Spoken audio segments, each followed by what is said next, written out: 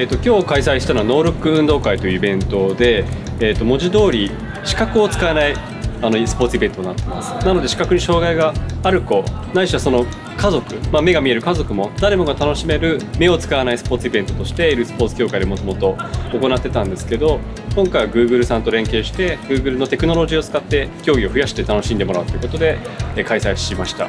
プロジェクトガイドラインというのは腰に巻きつけたベルトにスマートフォンを装着させて耳に骨伝導のヘッドホンを装着して使うことができます。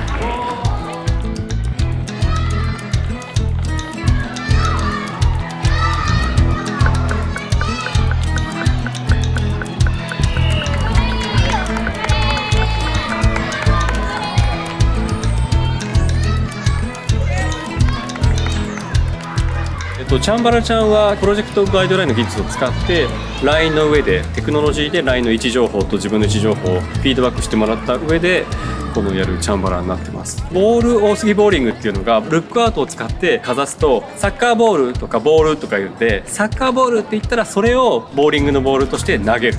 でボール投げた先に人がピンの代わりになっててこっちだよとか声をかけてその人にボールが当たったら1点っていうそういうボーリング競技になります。サングラス鬼っていうのはルックアウトでスマホをかざすと目の前の人が眼鏡をかけてるのかサングラスをかけてるのかっていうのを音でフィードバックしてくれるのでこうスマホをかざして歩きながらサングラスがいたらサングラスって言うと1点が入るっていうそういう競技になってます。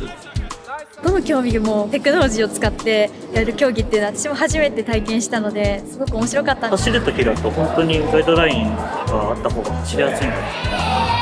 走るところは怖い恐怖がように私には見えてたんでそれがだんだん克服できるいい練習になるんじゃないかなって世界的に使われて広がってって使い慣れればこれからもそういう機会が増えればいいなって思ってます。